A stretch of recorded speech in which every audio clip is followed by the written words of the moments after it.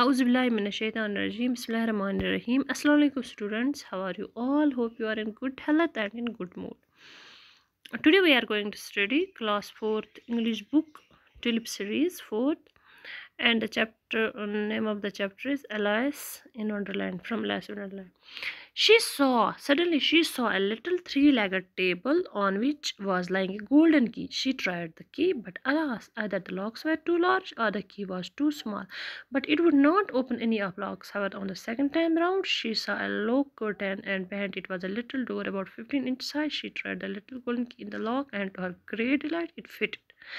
तो बच्चों जो एलाइस है, जो एलाइस हम एलाइस इन वंडरलैंड हम पढ़ रहे हैं तो एलाइस ने क्या किया? जब वो नीचे गिरी, बहुत ही मतलब एक डीप गॉर्ज लाइक मतलब वेल कुआँ जैसा था, लेकिन कुछ अजीब सा था, वो बहुत ही खूबसूरत था, उसके साइड में लैंटर्नस लगे थे लाइट्स लगी थी।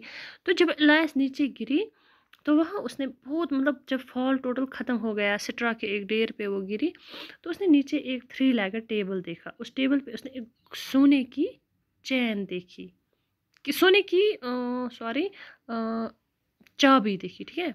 सोने की चाबी। उसने सब, जो डोर सारे बंद थे, उसने सब पे वो ट्राई की लेकिन कोई डोर उससे नहीं खुला। वो परेशान हो गई। उसने कहा, ये लॉक पर मतलब छोटा है और इधर तो लॉक्स ये ये लॉक जो है वो बड़े हैं तो चाबी सुमाल है शायद, ये छोटी चाबी है, लेकिन किसी में फिट नहीं होती। लेकिन उसने जब दूसरा राउंड किया तो उसने एक पर्दे के पीछे एक छोटा सा दरवाज़ा देखा, और फिफ्टीन इंच हाई था वो तो वो थोड़ा सा झुकी, और उसने उस गोल्डन की जो गोल्डन सोने की चाबी थी, उसको ट्राई किया, और वो खुल गया और फिट हो गया। Elias ओपन द डोर वो बहुत ही खुश हुई and found that it led a small passage तो वहाँ से एक छोटा रास्ता उसने देखा। She looked through and found a beautiful garden full of bright flowers and cool fountains उसने वहाँ से देखा तो उसने एक बाग देखा। वहाँ पे उस बाग के पास मतलब इतने अच्छे अच्छे, खूबसूरत फूल उस बाग में लगे थे और वहाँ पे फाउंटेन कूल बहुत ही ठंडे ठंडे आबशार थे fountains she wanted to go there but she was too small to enter the doorway. वो चाहती थी वहाँ जाना, उसको दिखा वहाँ से, लेकिन वो दरवाज़ा बहुत छोटा था और वो मतलब रास्ता भी।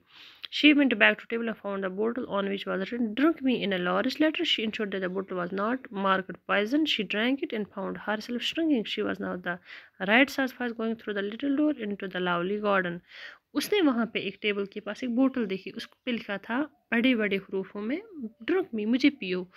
उसने सोचा कि जहर तो नहीं है उसके पास में बोला नहीं ये जहर नहीं हो सकता। उसने वो पिया और वो छोटी हो गई। अब वो फिट हो गई बिल्कुल जो ये दरवाजे के पास छोटा सा रास्ता जाता वहाँ से जाने के लिए उस गार्डन में। Got into the garden, but so raised that she had forgotten the little Goldie, and when she went back to the table for it, she found she could not possibly reach it. तो Alice लेकिन भूल गई कि सोने की जो चाबी थी, वो टेबल के पास ही छोड़ आई जब वो कार में चली गई। अब वो वापस आई उसको उठाने के लिए, लेकिन वो इतनी छोटी हो गई थी कि वो वहाँ तक पहुँच ही नहीं पाई।